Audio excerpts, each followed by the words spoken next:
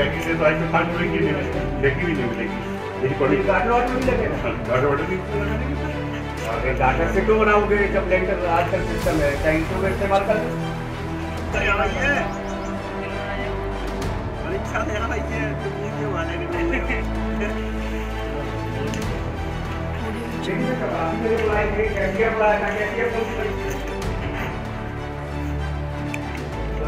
मतलब पहले उसके बाद कवर है पूर्व में जाँच हुई थी आ, श्री रामदत्त राम जी उप जिलाधिकारी ने जाँच की थी।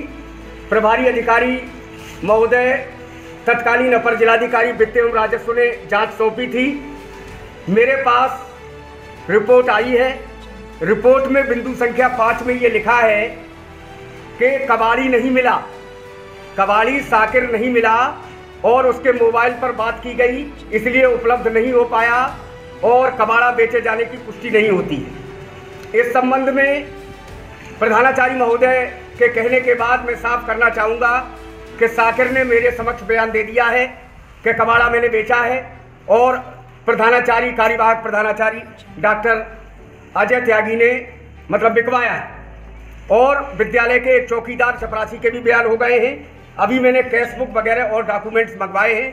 प्रथम दृष्टया कबाड़ बेचे जाने की डॉक्टर अजय त्यागी द्वारा कबाड़ बेचे जाने की पुष्टि होती है और उसका पैसा मैंने प्रधानाचार्य से मांगा था कि आप कैश बुक या कोई ऐसा अभिलेख दिखाइए कि जो आपने कबाड़ बेचा, जिसमें रद्दी शामिल है, गत्ता शामिल है, जिसमें कुछ लोहा शामिल है, जिसमें बिजली का सामान शामिल है, वो आपने किस खाते में जमा कराया, उसकी ये कोई वो साक्ष्य नहीं दे सके हैं। आज मुझे मौके पर जाँच करने आना पड़ा, क्योंकि प्रधानाचार्य जिन मतलब कैशियर और आपका जो लिपिक है, मुकेश लवानिया और एक चपरासी है आशुतोष, उसको मेरे द्वारा तीन नोटिस भेजे जाने के बावजूद भी जाँच के लिए नहीं भेज रहे हैं। ये गंभीर विषय है कि प्रबंध तंत्र के आदेश का अनुपालन करना प्राचार्य की ज़िम्मेदारी है और जाँच निष्पक्ष होगी, ईमानदारी से होगी, इसमें कोई शक शुबा नहीं।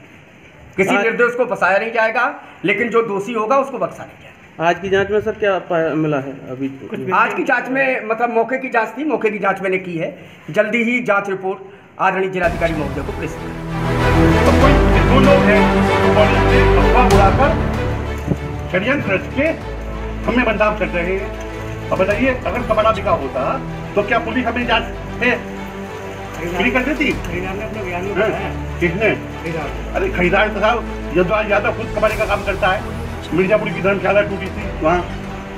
उसने अपने उपयोग पार्टनर था तमाम ठेके उसके नाम से चल रहे हैं। आप क्या जानते नहीं उसके बारे में आप सब लोग? क्या क्या काम करता है वो? वो उसने उसके चलाता था वो। अब भाई साहब कबाड़ी तो उस युवराज सिंह यादव का पार्टनर है।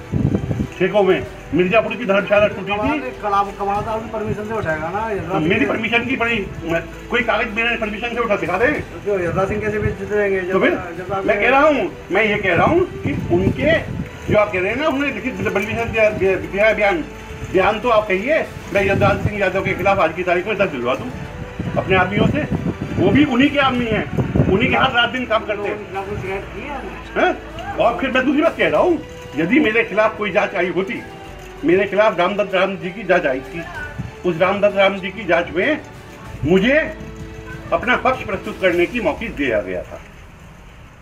इनकी किसी भी जाँच में आज तक मेरे पास कोई पत्र नहीं आया। है ये कह रहे हैं कि डीएम साहब ने इन्हें जाँच दी है तो भैया डीएम साहब ने इन्हें जाँच दी होगी। डीएम साहब मुझे भी तो पत्र देते। अपना अपना मौका प्रस्तुत करने का अरे आपको मैंने कल पत्र दिया है कि नहीं? कल वाला मिला? कल कल कल कल का पत्र आप तक कब कौन सी डेट का है?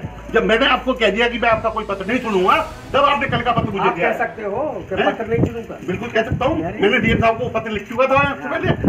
बिल्कुल। उससे पहले मैंने डीएम साहब को ये लिखा था एक एप्लीकेशन में कि आपके लिखित आदेश पब्लिक निर्देश के उपरांत मैं प्रभारी अधिकारी महोदय के किसी पत्र का जवाब दूँगा नहीं। या उनसे कोई कम्युनिकेशन करूँगा। भी तो अधिकार डीएम साहब ने दिया होगा ना प्रभारी बना रखा है विद्यालय का। नहीं नहीं देखिए हर चीज़ का अंतर होता है। जब माहौल खराब होने का एक वातावरण सा बन जाता है और प्रभारी अधिकारी महोदय मेरे खिलाफ डेली के डेली पत्र लिख के मुझे दे रहे हैं फिर आपने कुछ नहीं तो- लिखा हूँ। अब मतलब कुछ प्रश्न जब जब जब तक मैं आप बोलते रहे तब तक मैं कुछ बोला? मैं पढ़े लिखे आप भी की तरह अलग खड़ा रहा। अब मैं बोल रहा हूँ आप पढ़े लिखे आदमी की तरह खड़ा रहिए मुझे बोलने का मौका दीजिए। और अगर अगर बहस चलेगी आपस में कैमरे के सामने तो फिर इसका कोई फ़ायदा नहीं है। मुझे अपनी बात कहने का मौका दीजिए। मैं अपनी बात कहूँगा। तो सरकारी अधिकारी महोदय से मैं कह के आया था। उन्होंने उसके बाद जो निर्देश मुझे दिए होंगे उनका मैं अक्षर अनुपालन करूँगा। वो मेरे नियुक्त है। और रही बात प्रिंसिपलशिप की ये मेरे लिए कोई महत्व नहीं रखती भैया पैंतीस साल पुराना अध्यापक हूँ। ठीक ठाक से घर का हूँ। पत्नी भी मेरी अध्यापिका है।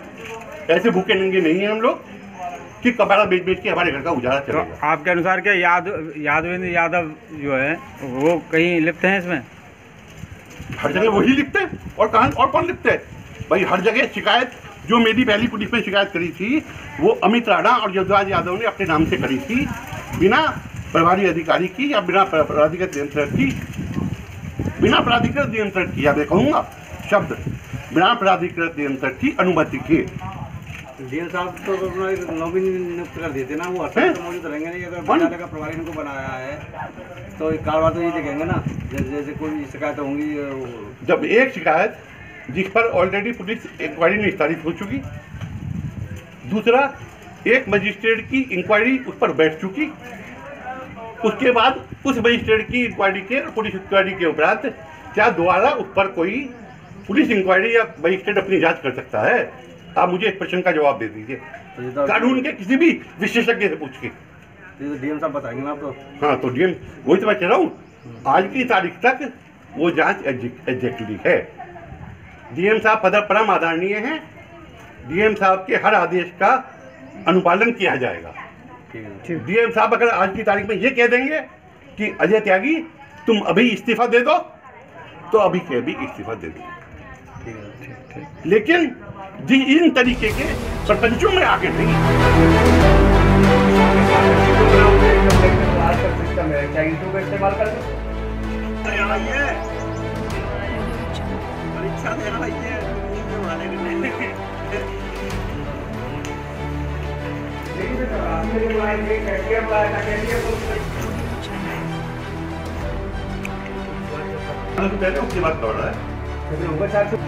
जिलाधिकारी, आदरणीय जिलाधिकारी महोदय के निर्देशानुसार जो कि के आर पीजी विद्यालय के प्राधिकृत नियंत्रक भी हैं, मेरे द्वारा जाँच की जा रही है। शिकायत है कई बिंदुओं पर।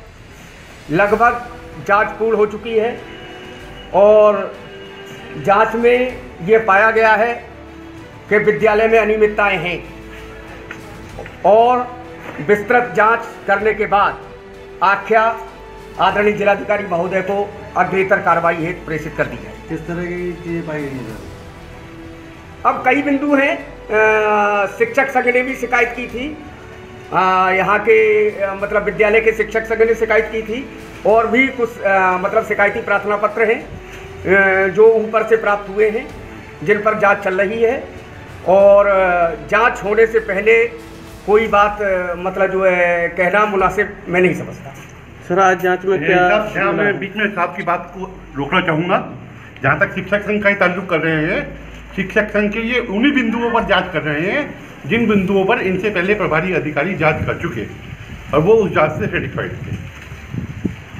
जहाँ तक मलबे का ही ज़िक्र कर रहे हैं, मलबे की पुलिस इंक्वायरी भी हो चुकी, पुलिस रिकॉर्ड में। संभवतः आपकी जानकारी में हो। दो ही लोग हैं जो उद्यमी ज़्यादा है। उन दोनों लोगों के द्वारा बिना जिलाधिकारी के परमिशन के, अपने इंडिविजुअल रूप से पुलिस में रिपोर्ट करी गई थी। उनकी पुलिस रिपोर्ट खारिज कर दी गई। उसके बाद उन्हीं दो लोगों के कहने पर पुनः एक मजिस्ट्रेट इंक्वायरी बिठाई गई। वो मजिस्ट्रेट इंक्वायरी भी जितना मुझे पता है, उसमें मुझे पाक साहब घोषित किया है। अब वही लोग उन्हीं बिंदुओं पर दोबारा कभी पुलिस में जा रहे हैं, कभी डीएम साहब के पास जा रहे हैं, कभी प्राधिकारी अधिक- अधिका- अधिकारी के पास जा रहे हैं। अब मुझे नहीं पता कि उनका मंतव्य क्या है। और जिन बिंदुओं पर जाँच निस्तारित हो चुकी उन बिंदुओं पर प्रभारी अधिकारी महोदय का जाँच निस्तारण करने का क्या औचित्य है? ये आप जाने। मैं क्योंकि जाँच से संबंधित, शिक्षक संघ से संबंधित बात आई थी, इसलिए शिक्षक संघ से संबंधित बात आप लोगों को क्लियर करना मेरा दायित्व बनता है।